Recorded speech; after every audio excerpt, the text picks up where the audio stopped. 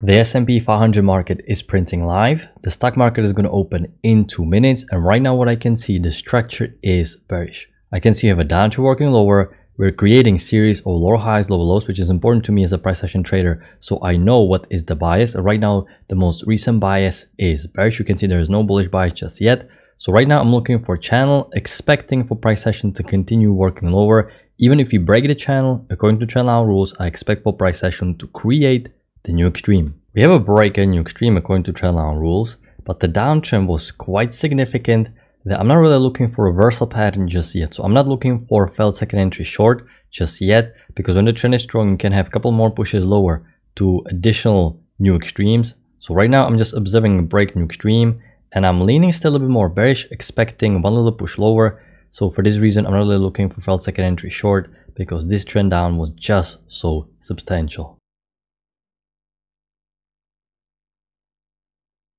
Right traders, I'm resuming the video as we have a large triple top, but this bar is forming. You can see it is getting to be four points big. Yeah, so I cannot take this unfortunately. This is way too big of a bar. So what I was looking for, one top, double top, triple top, large two-legged pullback. We're breaking the spike in the channel. So what does this mean? We expect new low for the downtrend going to trendline rule. Also, we closed below EMA. I was ready to pounce on this beautiful setup, but I can't really risk it. It's way too big, so I can only sit here and watch. You can see it closed very close to these lows, although we will most likely continue pushing lower. But I was hoping the bar would close somewhere near here, but you can see I'm just following price action without any indicators. Spike, channel, we keep getting rejected by the EMA, minimal, bullish pullbacks, telling me this is a very, very strong downtrend. So I adapted to another spike in a channel. This was a great step to take had it been a little bit smaller. The downtrend was substantial, so I'm still leaning more bearish. If we're going to break below EMA, this is going to be the sign that the sellers are back into the market. I can see that the bullish channel doesn't fully have technical new extreme just yet. Had this channel created the new extreme, I would have definitely been thinking about selling the triple test, one top, double top, triple top. But you can see this is the latest highest high, and we still may create the technical new high. So right now, even though I'm more bearish because it was a strong downtrend, and this is such a broad one leg pullback, second leg. I'm not really selling just yet because I just hold the trendline rule. This channel may get a new extreme. EMA keeps holding every single time and you can see exactly the price action is heading for a new extreme. Okay cheers, I'm resuming the video as I'm going to take a failed breakout because we created a break new extreme and I missed the setup because we already reached the scalp so I need to cancel the order. But this was perfect scenario. You can see how all the bulls they are piling in directly into highs of this trend range there was that little fell breakout higher and you can see it trapped all the buyers buying into top of the trend range while this channel is about to get new high and also it trapped all the early sellers just like we talked about that they're selling a little bit too early. This is a perfect setup. It broke higher took all of these sell stops out and then trap all the sellers. You can see such a massive bearish bar indicating the trap all the traders got trapped and for this reason i probably should have used stop because a lot of stops are going to be taken out but i decided to play it safe you can see i just didn't get filled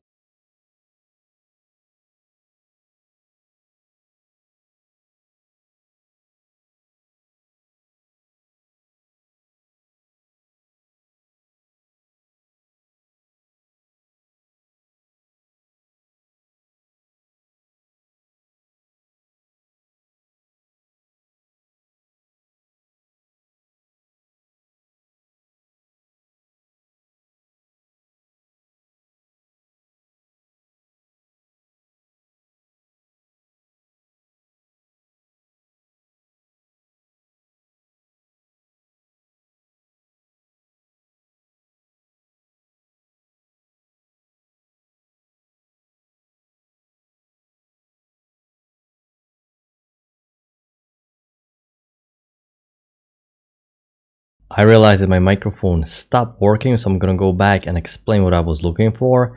Now we had consolidation, which we traded down into, and most breakouts will fail. So we wanna fade the top, and once the breakout is heading to the downside, we cannot just sell the breakout because most will fail, at least temporarily. You wanna wait for the breakout pullback, and this is textbook, break lower, pullback, testing the key level. And this was a great lower high confirmation setup of the breakout pullback. This is the first setup. Then we established this wider channel where was a great second entry short. I was looking for a lower high, same setup as here, breakout pullback out of this stacked area. But you can see we have matching highs, double top, no tick higher. So technically no lower high on my chart. Then we had small overshoot. I took this lower high mainly because this bar looked so bullish and at the last second it reversed all the way down. So this me into taking the lower high because it confirms second entry short.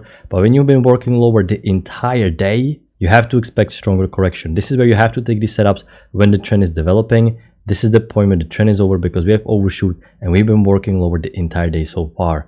So this is exactly where the correction is going to be. So unfortunately, I got trapped on the nice momentum with a small stop, no problem. And right now, I still expect new low for the downtrend.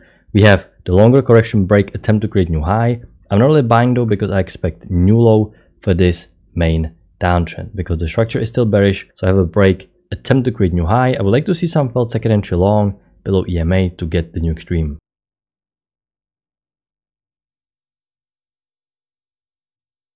Alright traders, I'm resuming the video as I'm going to take a second entry short fell breakout, the exact same type of setup we had a few hours earlier and we got from. So I'm gonna place my stop loss one tick above the single bar. I'm gonna go for 8 tick target profit, the one contract for runner. Right now I can see that this bullish channel has a clear break, move to new extreme, and bullish uptrend played out. Also we had consolidation and this is a fail breakout at the top of the consolidation. Most breakouts will fail and the main downtrend needs to get new extreme. So I'm fading the congestion with the direction of the main trend. I'm basically doing the same thing as I was doing right here. Second entry short, I was trying to fade the top because most breakouts will fail. So right now I'm doing the exact same type of thing. Great small bar, tiny risk, scalping six contracts and even one contract as a runner. There was no failed second entry long below EMA for us to capitalize on getting the new extreme. The uptrend truly needed a new high, but now that the new high was created, bullish trend is over, and this is a failed breakout at the top of the trend range. So I'm looking for a quick little scalp, possibly good runner because the downtrend needs to get new extreme.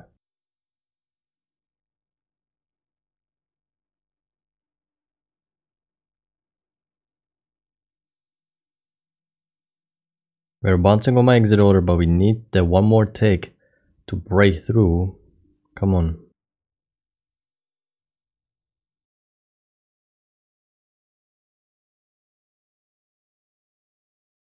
We made the scalp, our runner unfortunately got hit, but it's okay, it was good enough for a scalp. I'm still not expecting for prices to go higher, even though anything is possible if you have overshoot. This is not what you want to see when you're thinking bearish, but this downtrend was so strong and it needs to get new low. They like to trap the bulls. If there's going to be reversal, then I'm just going to simply adapt. But as of right now, I still want to see that push below EMA and a second entry long to get the new extreme. Perfect price action rules, the downtrend created the new extreme. Now, this is what you're hoping for when you're selling at the top of the consolidation at the top of the correction phase. Now, it may feel it is counterintuitive. It may feel like you're selling too high and the market may go higher, but you have to trust the price action rules.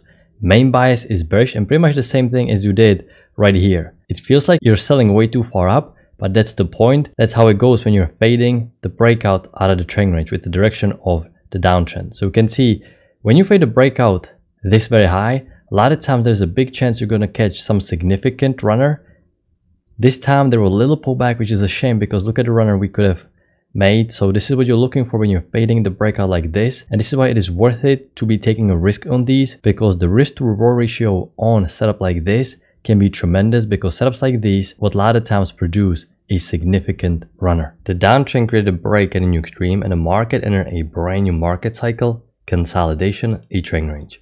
We had a decent felt second entry along below the EMA Contextually, because the signal bar was inside bar, didn't form that well, but when the trend down is strong, you always lean towards downtrend continuation. You're not really thinking about buying. There was a last second entry short, also a little fell breakout at the top of the trend range, which is where we want to sell. Uptrend played out, but the signal bar once again was inside bar. So this is mainly contextual setup, but these are two decent setups. Would have been better had the signal bar form a little bit better. Overall, very predictable price action. You can see this is how price action works. Your goal is to follow the main bias, break, you expect new extreme. You also have to respect the short-term corrections. After there's a break and new high of the bullish correction, all buyers are right now done. Their target is met and sellers will step into the market because that's the main bias. So fairly predictable price action. This is the big picture overall. I decided to make the video a little bit shorter because my microphone stopped working and I was basically explaining things to myself so for this reason, this area was a little bit quiet. I hope you had a good trading day. I'm gonna wrap it up. I'm gonna talk to you next time. Good luck with your trading.